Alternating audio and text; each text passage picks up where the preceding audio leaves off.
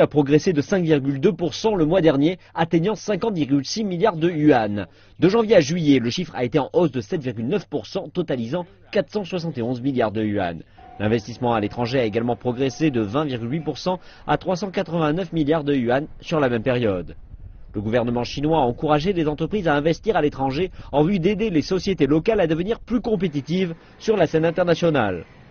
Les analystes s'attendent à ce que l'investissement à l'étranger équilibre prochainement l'investissement dans le pays.